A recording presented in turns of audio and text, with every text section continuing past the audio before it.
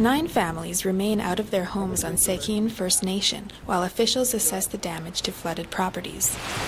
Extreme winds and high water levels from the Winnipeg River forced the evacuation of 52 people Wednesday night. I haven't seen anything like this in my life. Uh, I have seen similar uh, storms uh, to some capacity, but never have I seen it this strong. By Thursday afternoon, the water had receded in most areas. However, several homes were still surrounded by water. Marilyn Crochane's home, where she has lived for the past 23 years, was one of the worst hit. The water was starting to come up, come up on the yards, and then it didn't take too long.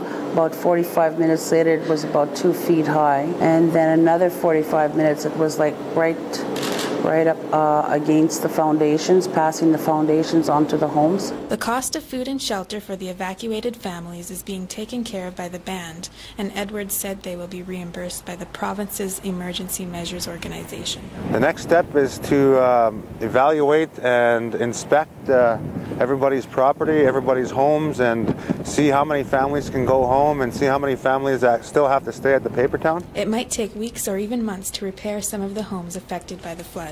For the Winnipeg Sun, I'm Jillian Austin.